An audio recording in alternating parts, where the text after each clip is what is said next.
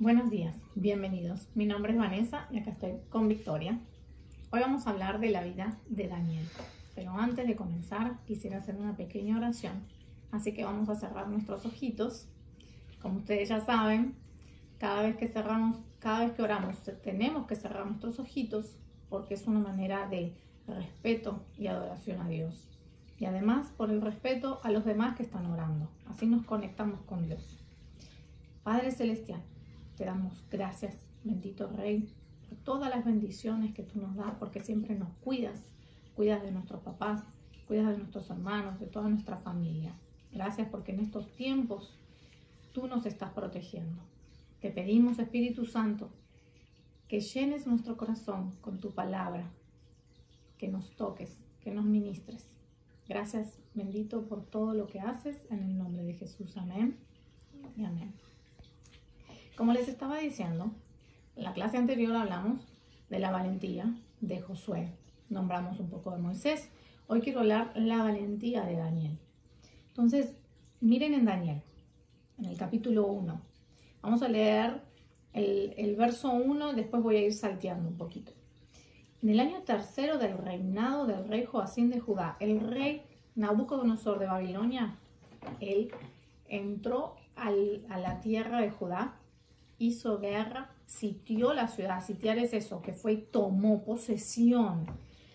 Y entonces agarró los utensilios del templo de Dios y además, que eso lo vamos a hablar más adelante, y además escogió, le dijo a su jefe oficial, le dijo que vaya a la corte, dice, y agarra algunos israelitas pertenecientes de la familia real y de la nobleza pero había unos requisitos que tenían que cumplir. Esos requisitos eran que tenían que ser sabios, jóvenes sabios, con sensatez. Dice, aptos para el servicio en el palacio real. Ellos tenían que eh, tener inteligencia, sabiduría. Y solo la inteligencia y la sabiduría te las da Dios. Uno puede estudiar y podemos tener conocimiento, pero recuerden, que la sabiduría viene de Dios. Entonces, estos eran hombres jóvenes, eran cuatro, temibles a Dios. Ustedes saben que el temor de Dios es el respeto, el amor a Dios. Ellos amaban y adoraban a Dios. Entonces, dice que el rey les asignó raciones diarias. O sea, lo que comía el rey se lo iba a dar a los jóvenes, todo lo que comía el palacio y la comida especial que comía el rey se lo iba a dar a estos jóvenes. Estos jóvenes se llamaban Daniel, Ananías, Sadrach, Misael. Entonces les pusieron así. A Daniel lo llamó Belsasar, a Ananías, Sadrach, a Misael, Mesac y a Azarias, Abednego. Se los dije mezclado antes, pero así ese es el nombre. El rey de Babilonia les cambió el nombre. Entonces, Daniel se propuso honrar a Dios. Y en esa honra, él dijo que no iba a comer de los alimentos que le daba el rey, ni del vino, ni de las comidas. Entonces él le pidió al oficial, al jefe, cuando le mandó el guardia que se dedicara y los ayudara, que los atendiera a estos cuatro hombres, estos jóvenes, el, Daniel dijo, yo no quiero comer de esa comida, quiero, quiero comer verduras y agua, tomar agua. Entonces, el oficial preocupado decía, sí, pero si el rey se entera que vas a estar más flaquito, que, que, que no estás comiendo de la comida, eh, se va a enojar, me va a matar. Pero entonces Daniel le dijo, dame 10 días. Y en esos 10 días yo te voy a mostrar que comiendo sano, solo frutas, verduras, la Biblia hace hincapié a las verduras y el agua, en esos 10 días vas a ver lo que Dios va a hacer en nuestras vidas. Pasaron los 10 días, así se lo concedió el guardia, pasaron los 10 días y ellos eran hombres fuertes, sabios, 10 veces más inteligentes y sabios que los demás pero por sobre todo tenían un semblante, semblantes en la cara, se le veía la salud y solo Dios nos da esa salud divina. Entonces más adelante dice que el rey los llamó a los cuatro y cuando vieron, el rey les hizo preguntas preguntas que solamente personas que estudian saben. Y cuando le hizo las preguntas, vieron que ellos habían estudiado, que habían aprendido la lengua, que habían aprendido cosas de, de lo que es de Babilonia, sus costumbres, pero por sobre todo habían aprendido otras cosas. Entonces, cuando el rey vio de todas esas preguntas difíciles que ellos supieron contestar, se dio cuenta que eran diez veces más inteligentes y más sabios que cualquiera de los que estaban ahí. Inclusive dice, requerían de sabiduría y discernimiento. Los hizo diez veces más inteligentes que todos los magos y hechiceros del reino, del, reino de Babilonia. Entonces dice que así fue como Daniel se quedó en Babilonia hasta el primer año del rey Ciro. Como vemos, se requiere de valentía, de, ser valiente y decir, yo no voy a comer de lo que están comiendo los demás. Se requiere de valor, ser eh, esforzado, ser valiente, de decir todo lo que hagan los demás, aunque está mal, pero todo el mundo lo hace, yo no lo voy a hacer, porque prefiero agradarle a Dios que a las cosas de este mundo. Entonces, si nosotros vemos en nuestras escuelas, nuestros amigos, a donde estemos viendo, vemos algo que sabemos que no está bien, no lo hagamos por amor a Dios, por respeto a Dios. Y en ese respeto, en esa honra a Dios, en ese amor a Dios, Dios siempre nos bendice. La Biblia habla, resumidamente les digo que, que todo lo que Daniel pasó, Dios lo bendijo, Dios lo prosperó, Dios lo sacó adelante, le dio siempre sabiduría. Y no solamente eso, sino que le dio revelación de sueños. Entonces cada vez que el, que el rey de, eh, de Babilonia tenía sueños, se lo decía a Daniel. Y Daniel, porque Dios le decía la interpretación, Daniel podía decir qué significaba cada sueño. Cuando nosotros nos ponemos en las manos de Dios, solo Dios nos da salud divina. Hacemos lo correcto de cuidar nuestro cuerpo, porque nuestro cuerpo es el templo del Espíritu Santo. Pero también al obedecer las cosas de Dios, obedecer sus mandamientos, al seguir su palabra, como hablamos en eh, la clase anterior, que Dios nos manda que nos colguemos del cuello, significa que lo tengamos todo el día en nosotros, que declaremos, que meditemos en la palabra de Dios y que hablemos la palabra de Dios, o sea, esta es la palabra de Dios. Cada vez que nosotros decimos los versículos, los aprendemos, como les dije, que teníamos que practicar. Cada vez que nosotros practicamos, cada vez que decimos los versículos, eso es palabra de Dios, es palabra viva. Entonces eso pasa a nuestra mente, de nuestra mente a nuestro corazón, y de nuestro corazón es lo que vamos a hablar. Hay un versículo que dice, de la abundancia del corazón habla la boca. Entonces yo los invito, así como hizo Daniel, así como la clase anterior que hablamos de Josué, Moisés, obedecer a Dios trae recompensa. Obedecer a Dios es el price, como decimos acá en inglés.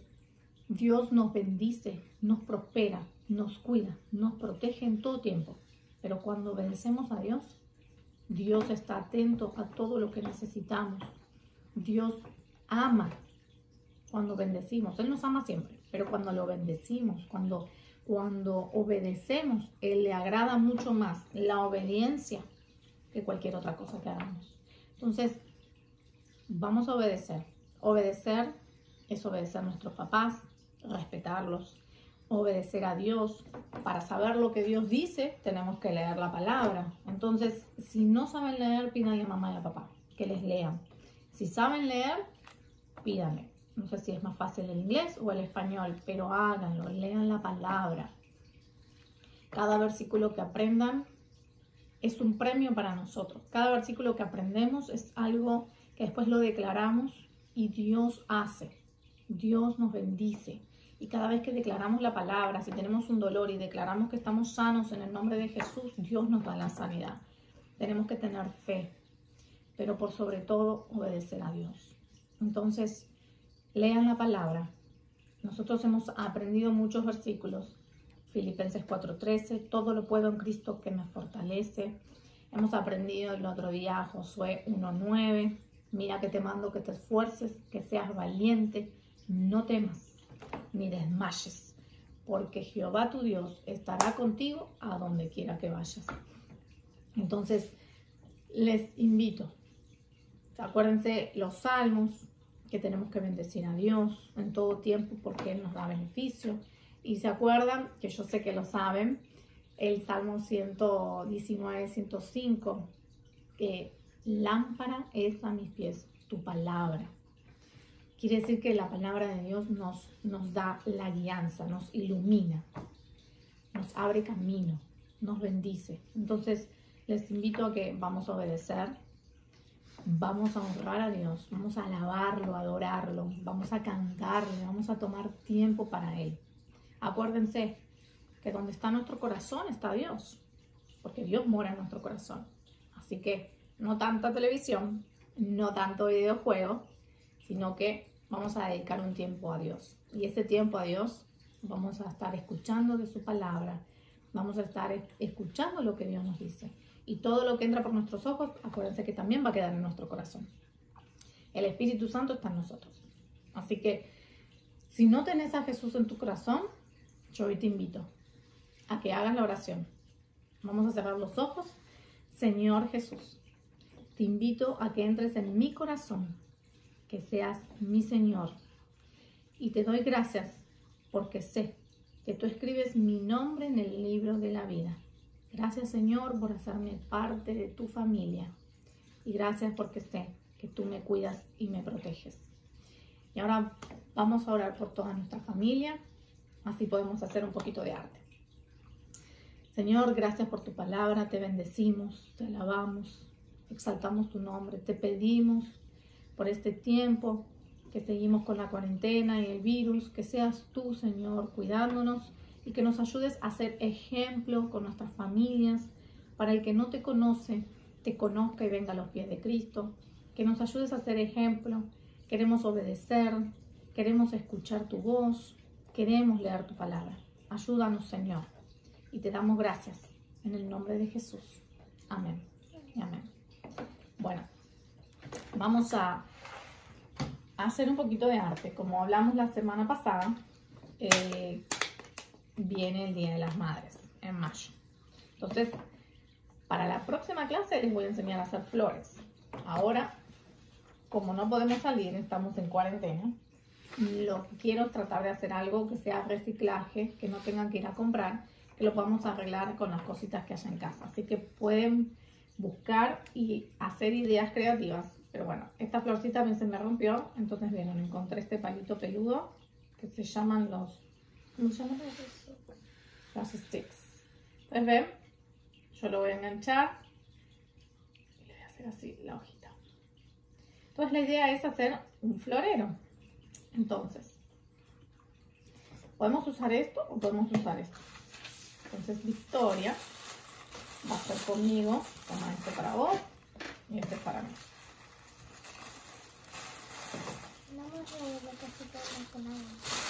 Siempre con esta.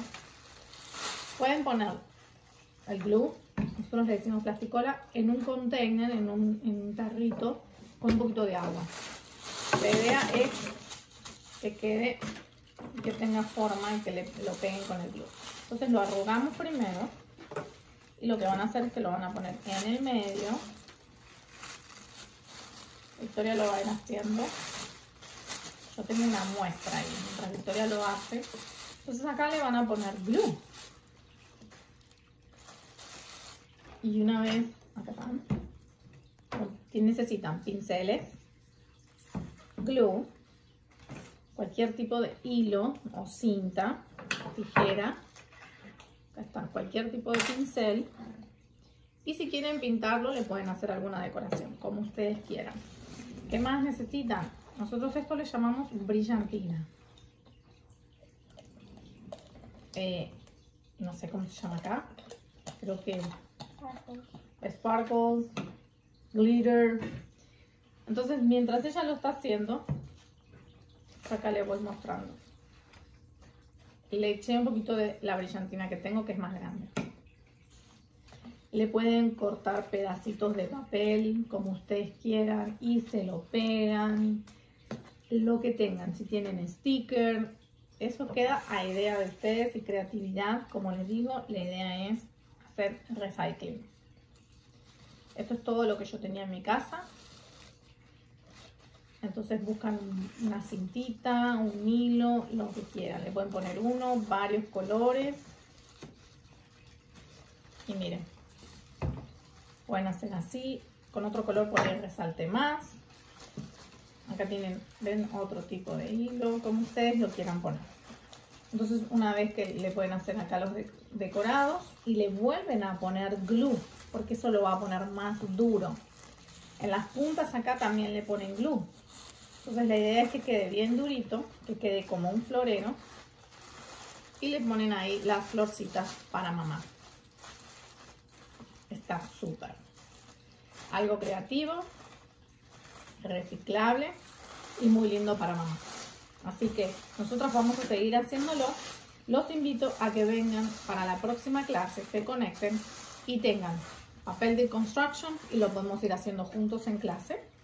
Eh, papeles de colores que tengan y em, tijera necesitamos para la próxima. Y si llegan a tener de estos fluffy sticks, buenísimo porque podemos hacer otras flores con esto. Bueno, muchísimas gracias. Nos vemos en la próxima. Dios los bendiga.